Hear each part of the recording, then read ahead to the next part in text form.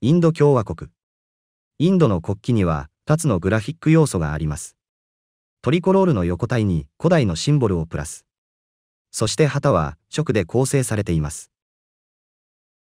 旗が3本の横体のデザインに基づいているのは、インドの自由運動の中で人気を博した旗の自然な発展だったからでしょう。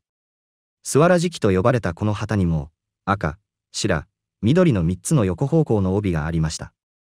赤い色はヒンズー教徒を表し、緑はイスラム教徒を表し、上部の白い色は他のすべての宗教コミュニティと、異なる宗教コミュニティ間の平和を表しています。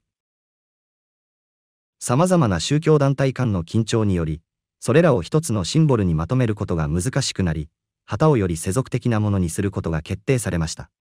1921年のオリジナルと比較して、改訂版では色が変更され、新しい意味が与えられました。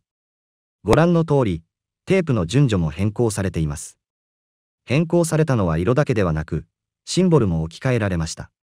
スワラージの旗には伝統的な紡績者のシンボルがあり、マハトマガンジーが提案したシンボルは、インドの人々が自立し、自分たちの服を作り、国の繊維産業を発展させているとみなされるべきであることを表しています。しかし、このシンボルは、新しいが古代のシンボルであるアショカチャクラに置き換えられました。24本スポークのホイールです。1日の1時間ごとに1つあるため、このシンボルはしばしば、時の輪と呼ばれます。各線は、自制心、優しさ、誠実さ、忠誠心など、人生の24の原則の一つを象徴しています。しかし、最も象徴的な特徴は、チャクラが動きを象徴しているということです。それは、動いている生と静止している死があることを示すことを意図しています。これは象徴的に、インドの国が繁栄するためには、国が変化に適応することが重要であることを意味します。旗の色に関しては、色が何を表しているかについての公式な説明はありません。1940年代に旗の採用を支援した人の間でも、尋ねる人によって色の意味が異なります。オレンジ色の色合いであるサフランの色は、国の強さと勇気を表しています。他の情報源は、色が犠牲と禁欲主義を象徴していると信じています。白い中央の帯は、ダルマチャクラで平和と真実を表しています。緑のリボンは信仰と騎士道を象徴しています。他の情報源は、地球の肥沃度、成長、幸福に言及しています。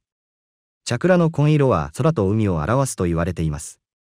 それが神聖を指すと主張する人もいますが、旗について注目すべき3つのこと。インドの国旗は、1947年8月15日に英国からインドが独立する数週間前の1947年7月22日に開催された政権議会の会議で、現在の形で採用されました。どのテキスタイルで旗を作らなければならないかについては、厳密な規則があります。法律により、それは特別な種類の鉄麦シルクであるカディで作られなければなりません。アショカチャクラシンボルは、約2300年前に生きた古代インドの皇帝であるアショカに関連し、名前が付けられた著名な仏教のシンボルです。